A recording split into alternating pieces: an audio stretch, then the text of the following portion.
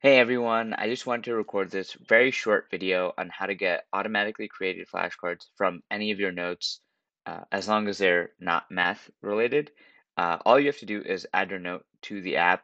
Uh, you can either import, add a new note, but once you do have it in, you just have to open up the note. You can see that uh, on the left you have uh, your note, and on the right you'll see this UI that shows you, uh, hey, we'll make flashcards for you.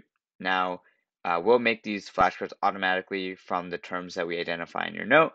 Uh, and all you have to do is press that button uh, and voila, you got uh, flashcards created instantly from any of your notes. Uh, and all you have to do to edit them is just click this button here. Uh, you get to go to this flashcards page where you can not only edit them, but you can also review the flashcards. and obviously, if you scroll down, you can edit them here.